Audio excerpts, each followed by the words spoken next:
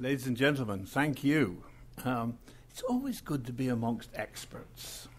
And since we're a small group, our expertise is going to be heavily drawn on today. I can, I can feel that. But, uh, but I also feel that um, despite this rather intimidating classroom style arrangement, um, this should be, uh, given the range of experience and, and uh, the skills uh, uh, around the list of participants here, this, this should be, and we can turn it into something like a seminar, something like a way of teasing out um, Anthony's question to us, which I really feel is about the changing shape of science publishing. Um, Outsell, uh, for whom every now and then I do some work, produced a report on this from Denis Auclair, an excellent report uh, uh, last year. Uh, no, earlier this year. And uh, that report is, the basis of what I have to say. What I think of it is, as always, my own. Um, dangerously heretical, um, I hope. Anyway, let's see. Um, uh, and let's get, uh, um, uh, first of all, to, uh, uh, to some of the things that are happening. First of all, I mean, think about government funding. Um, uh, on the rise, huge percentage of, of, um, of research and development spending across governments with those three leading players China, India, uh, and the United States, as ever, blazing a trail. I say, as ever, the emergence of China and uh, India as huge funders of R&D is, of course, in itself a symptom of what Anthony's talking about. It's a symptom of pressure. It's a symptom of societies who feel that things have to change faster than they're currently changing. And uh, uh, and, and that's, to me, very significant. Um, technology change is, is partly uh, uh, uh, a factor here. The very fact that we're living in a searchable world in the post paper society um, seems to me to have a significance all of its own. Um, uh, we cannot now pretend uh, in any way that um, the uh, research paper, the uh, report of a project, uh, stands alone as the only monument to what took place in research. The, the, the very fact that we have myriad ways now of tracking what's happening, and the fact that what's happening is so great that we will never track it all, means, of course, that we're going to be living in a world where we map what's happening without having ever read everything that's happening. So uh, our referencing skills uh, are getting greater, uh, our mapping skills are increasing, our reading time is static. It's an important factor. Sustainability of life on our planet, look at food, look at uh, energy, look at uh, uh, global warming, look at anything you like, um, pushes the research envelope all the time.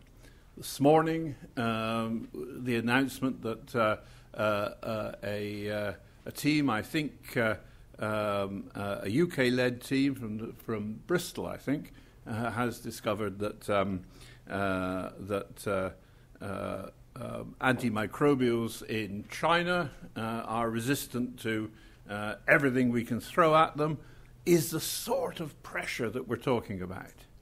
So, innovation and discovery and reiterated innovation grow in importance, private and public funding increases.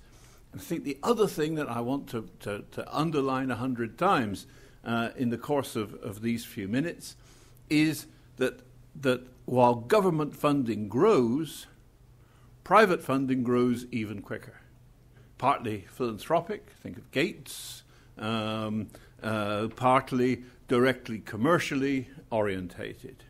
Um, so, uh, and as these things grow, so the traditional roles of, of, of players un- come under increasing scrutiny. People like me, greybeards like me, who entered an industry which was library dominated, now find themselves in an industry which I think is increasingly funder dominated. And as we move through the OA years, as we move towards um, uh, a greater share of revenue in APCs, and I know that many publishers say this is going to be significant, and many others say it is, in, it is grossly insignificant. Um, uh, but as we move down that track, then I think we're going to see um, uh, a, a change of balance in the industry. Um, we're moving to the end user. We're moving to um, to what you can do in a research team, what you can do uh, in the network. We're, we're moving very much towards a different publishing model. The need to, scrutin- to scrutinize the traditional roles is no less. Um, and in order to scrutinize, uh, uh, and I use the word scrutiny rather, rather than peer review, uh, for obvious reasons, because scrutiny is a much wider expression. Um, we need to have comparability and we need to have accessibility. And I think one of my, one of my conclusions from reading Denny's report was very much the idea that actually competition is diminishing in the publishing world as we face customers who want access to everything on the same terms at the same time. So we need to collaborate, whereas competition between um, publishers and uh, other agencies within the uh, within the framework of uh, of uh, making research reporting uh, and research results available and making them uh, accessible. that competition is increasing. Um, uh, in a sense, this has already happened. It's happened in uh, the research business itself. Um, collaboration is growing and is improving.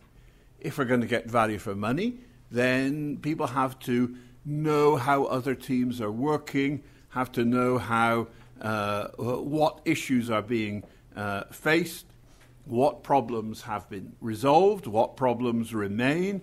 Um, uh, getting value out of research which duplicates uh, other research and finds the same problems is not um, uh, always acceptable to, to funders. Um, uh, of course, a lot of research has to uh, cover the same ground and prove the same points, but actually discovering the same issues uh, in the course of a piece of research which was blind to others in the marketplace um, maybe uh, a, a, false uh, a false dawn. Um, and of course, if we're going to, to hand out funding, whether we're government or Gates, we have to know who's getting it.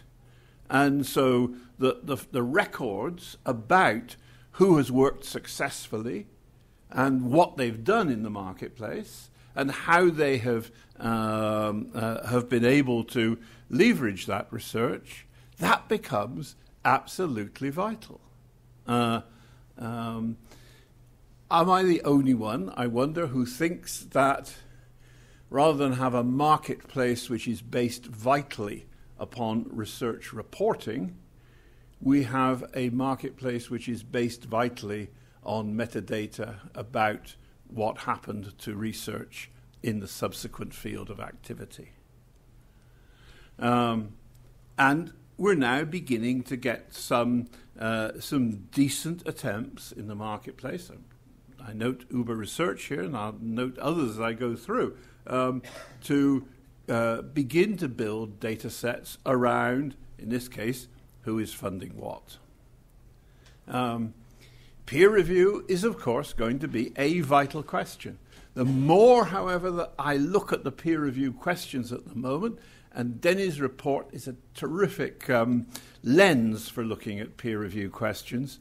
The more I wonder whether peer review is not at its most important in awarding research grants rather than um, uh, in, um, creating terms of publication. Seems to me very much that the emphasis from funders, you look at their viewpoint, is very much about being discriminatory about the key teams and the key individuals and the people in the marketplace who can carry out this research successfully and uh, the additionality which that research will create rather than um, the, uh, um, the, uh, um, the presence of that research in the publication space. That, of course, could be, well be speeded by open access, could certainly be speeded by the increasing adoption of post publication peer review. Um, publishers have always regarded peer review as the last barricade, the, um, the defensive wall. Um, I would suggest to you that that wall is crumbling, not because of publishers' inability to defend it, but because the structure of the marketplace is changing.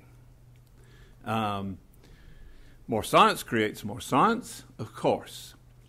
Greater cost realism. Um, uh, those dreadful letters, FEC, full economic cost calculations, come more and more and more into the attitudes of funders. And why? You've got to get the best possible bang for your buck. Um, it's got to be uh, about stretching the available dollars um, as far as they will possibly go. And if you don't recognize the cost of selecting the projects, if you don't recognize the cost of the APC, if you don't recognize all the other um, uh, uh, costs which uh, accrue around a research award, then it's very hard for grant, for, for grant uh, giving organizations to keep a control of their own costs. Um, one of the reasons, as they look at this, why I think they are increasingly um, looking at uh, self publishing environments is just cost realism. And we'll come back to that a little bit later on. Um, so, so my conclusion here really is that proposal peer review um, is uh, is more and more valuable. Um, publication peer review is less and less valuable. Um, funding. Um, uh, so, funding agencies uh, into spreading their funding across as wide a body of work as possible um, uh, seem to me to be moving more and more towards um, uh, a, uh, a management of funding attitude.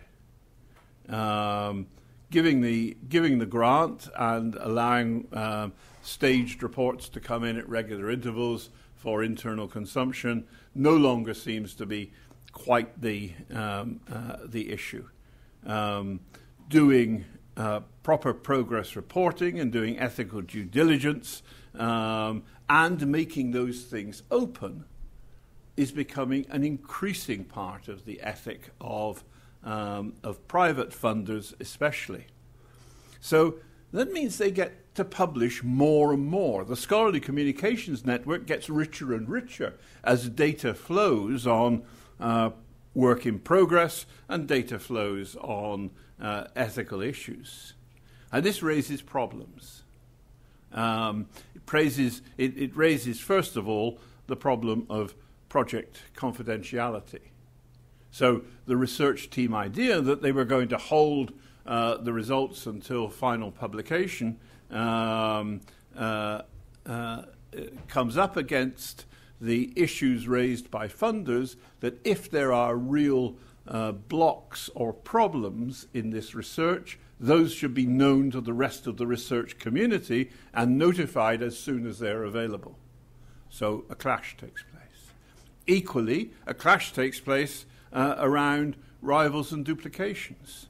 Um, should funders map duplications? Should they map rivals? Um, is this about competition or is there an ethical positioning issue here? If two projects are at the same stage down the same lines, would it be more cost effective for them to join forces or at least to talk and collaborate or not? Um, so, uh, uh, a load of issues there arising from a great deal more information in the marketplace. Um, and then um, uh, we come to the movement um, strongly in the uh, in the NIH and in the Howard Hughes Medical Fund uh, towards funding individuals. And that brings the ethical questions out even more. So, if I simply say, I'm not going to give um, a, re- a, research project to look at this particular cancer cell, I'm going to, to fund Professor X for five years, that's, that's a much better way of doing it than the way in which Professor X makes his, his work available to a wider scientific public long before publication becomes extremely interesting. Uh, so um, uh, there are uh, there are issues there, but above all, uh, we've found looking at um, uh, at the information available in the marketplace around uh, funding and projects a huge lack of metadata consistency. It's not a lack of metadata. Tons of stuff now lots of analytics coming out, lots of people building databases out there, but comparability, consistency, uh, standards, not so good. Um, open access, I have to mention. Um, uh, 184 sources now uh, on, uh, on Sherpa. I think embargo periods, that's going to be a, an area of discussion. Um, they're very various. Are they diminishing? I don't know of any trend analysis here yet, but uh, uh, are they getting shorter? Um, will they get shorter? Becomes uh, an important issue. Um, what happens to all those provisional interim findings that I was talking about? Do they get published under open access? Um, will they become something which people rely upon more than the research uh, filing itself. And open data access, critical issue. We're now getting more and more people interested in publishing data. Um, we have uh, a number of places, um, Figshare, for example, um, Dryad, where, where data can be published easily and quickly, not subject to peer review normally, um, uh, so, what will happen with data access? I think a critical position if you, as a publisher, think of yourself as handling the whole process of uh, producing results in the marketplace. Um, yes, metrics. Um, oh, thank you. Um, uh, I will leave this slide as it is then. Um, uh, uh, but basically, we're back to the old question how long can we wait? Um, uh, do we need to publish preliminary results to get citations? Do uh, uh, immediate post publication? Do we do immediate post publication peer review? Um, and um, and do we need to know what other funders are funding? I think critical questions. Interestingly, we now have a database of the curriculum vitae of network experts uh, uh, in scientific research, and I think that has become uh, a vital part of, uh, of the continuum of information and impact. Um, in a week when uh, Thomson Reuters um, announced it was under, undergoing or putting IP and science into a strategic review. Uh, it's interesting, isn't it, that um, the traditional ways of looking at impact factors um, uh, from Gene Garfield onwards are now under huge and serious marketplace pressure. And so we begin to look at those, at those factors uh, and who is going to repair the system and build a holistic way of measuring impact. Um, uh, we are at the moment up in the air. Um, so now um, uh, there's a market need, I think, to get the data together, to get consistency and to get standards. We've got huge amounts of, uh, of, uh, of information, analysis, taxonomy. We don't have very many solutions or answers which funders will demand. Um, uh, um, is there an impact factor for, fu- for funders that will look like SciVal or Web of Science? Uh, can we create a standard classification? Or will some current funders do it for themselves? Um, you'll have noticed, I'm sure, this week that uh, a research grant given by, um, uh, by Gates um, uh, uh has funded the creation of learning tools for, um, uh, for postgraduate research. Now, this is kind of interesting, isn't it? How far is that away from saying uh, these APCs, if we pay enough of them, why don't we create some tools and distribute them to researchers and publish ourselves in uh, Gates branded journals? It seems to me that uh, we're on the doorstep of the, um, the possibility of funder publishing. Uh, in the collaborative world, we have to find a way of working with funders. We have to find a way of working with where the researcher marketplace has gone. We are no longer in the library driven world. Time for change. Thank you, Anthony.